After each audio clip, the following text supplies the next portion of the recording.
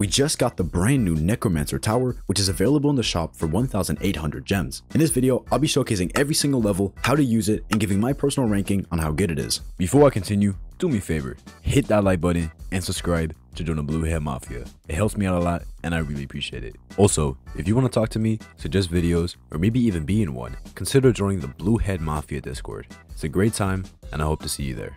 At level 0, it costs 2,250 cash, deals 8 damage, has a fire rate of 1.5, 16 range, 5.33 DPS, and hidden detection. On top of that, once the Necromancer has dealt 30 damage, it places down 2 graves with a max of 6 at a time. Then, if you use its ability, the graves break and turn into skeletons. These skeletons have 20 health and ram into the enemy. At level 1, it costs a total of 3,000 cash, deals 10 damage, 6.67 DPS, and can now hit 3 enemies per shot. At level 2, it costs a total of 5,000 cash, has a fire rate of 1, 10 DPS, and it now summons 3 graves at a time. These graves can now spawn sword skeletons which stop and attack the enemy. They have 20 health, deal 15 damage, a fire rate of 0.8, 6 range, and 18.75 DPS. At level 3, it costs a total of 15,000 cash, deals 25 damage, has 18 range, 25 DPS, and it now summons level 2 gravestones. These graves can turn into giant skeletons or skeleton knights. The skeleton knight has 65 health, deals 25 damage, a fire rate of 0.65, 6 range, and 38.46 DPS. The giant skeleton has 250 health. And finally, at level 4, it costs a total of 45,000 cash, deals 15 damage, has a fire rate of 0.3,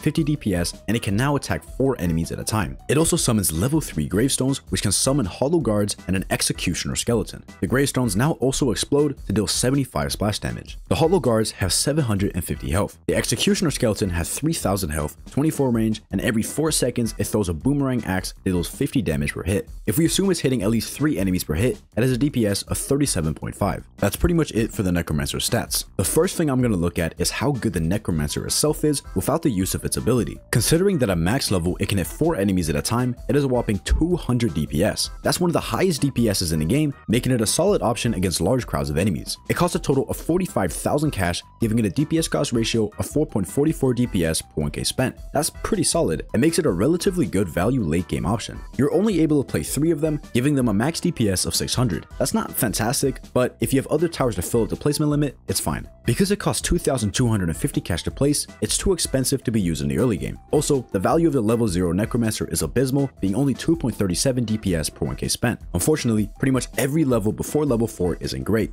You should only place a Necromancer if you know you can fully max it out. That means you only really use this tower in the late game and possibly in the mid game. But what about the skeletons? Well, this is where things get complicated. First of all, if you use the ability, any currently alive skeletons will die, so it's a good idea to let the Necromancer place the max amount instead of spamming the ability.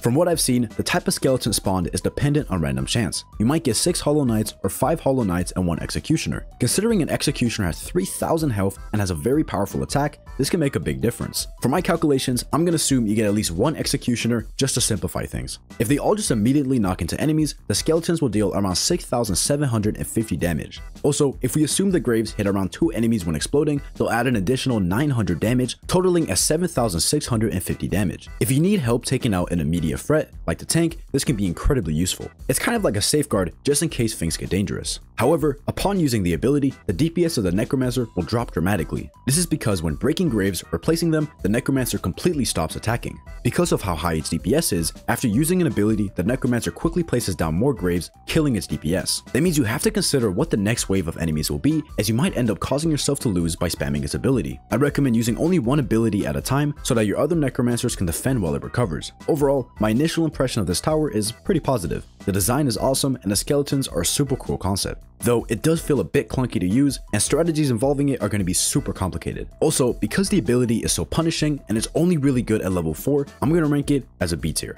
However, take that with a grain of salt as this tower is super unique and there may be some good uses for it that I haven't taken into account. But let me know what you think. How would you rank this tower? Personally, even if it's not great, it might be my new favorite event tower just because of how cool it is. Anyways, I hope you guys enjoyed this video, and if you did, make sure to hit that like button and subscribe to the Bluehead Mafia. See ya.